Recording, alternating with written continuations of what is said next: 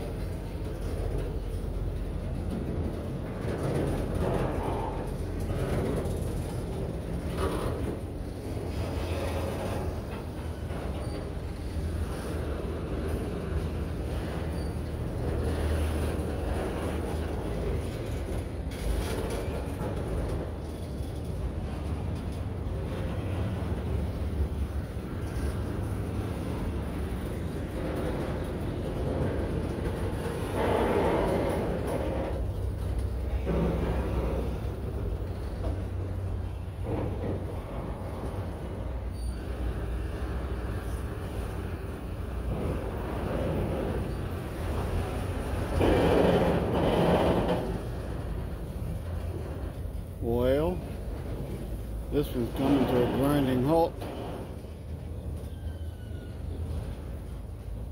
Shucks.